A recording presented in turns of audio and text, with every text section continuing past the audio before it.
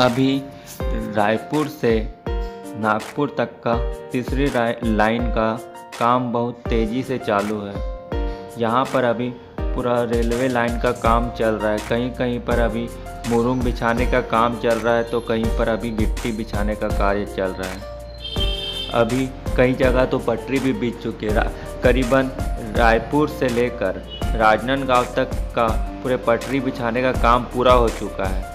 उसके आगे डोंगरगढ़ तक भी कहीं कहीं पर पटरी बिछे हुए हैं। उसके आगे गोंदिया तक पूरा यह काम अभी बहुत तेज़ी से चल रहा है। पूरा मिट्टी बिछाने का आप देख सकते हैं। यहाँ पर बहुत सारी गाड़ियाँ लगी हुई है। यहाँ पर पूरे मिट्टी का रोलिंग किया गया है और ये गिट्टी विट्टी बिछाने का काम भी तेज़ी से चल रहा है। यह रेलवे लाइन बन जाने से यहाँ पर अभी हाई स्पीड रेल का रेल का भी ट्रायल होगा, जो कि बिलासपुर से नागपुर तक की जो हाई स्पीड ट्रेन इसी रूट में चलने वाली है।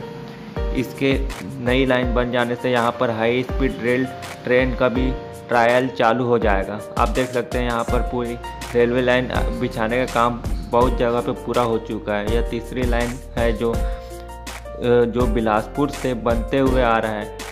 खैर, रायपुर से बिलासपुर तीन लाइन थी तो वहाँ पर चौथी लाइन का कार्य शुरू हुआ है और रायपुर से लेकर नागपुर तक तीसरी लाइन का काम बहुत तेज़ी से चल रहा है। यह करीबन दो साल में कंप्लीट होने की संभावना है। यहाँ पर कई जगह पर स्टेशनों को भी डेवलप करने की क्रिया चल रही है। इस तीसरी रेलवे लाइन के काम पूरा हो जाने पर लोगों को बहुत फ़ायदा होगा। इससे माल भाड़ा, मालगाड़ियों को भी बहुत फ़ायदा होगा, जिससे मालगाड़ी से एक सामान को एक स्थान से दूसरे स्थान ले जाने में भी कोई दिक्कत नहीं आएगी।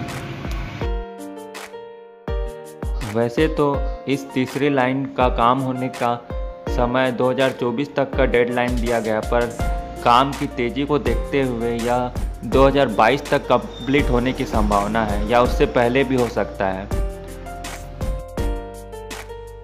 अभी मालगाड़ियों के कारण एक्सप्रेस या सुपरफास्ट ट्रेन कभी कभी लेट हो जाती है। इस तीसरी लाइन बन जाने से उन, वो मालगाड़ी अपने सेपरेट रूट पर चलेगी और इस रूट पे सुपरफास्ट ट्रेनें भी चल सकेगी। आपको यह जानकारी अच्छी लगी तो मेरे चैनल को सब्सक्राइब करें और लाइक एंड शेयर करना ना भूलें। धन्यवाद।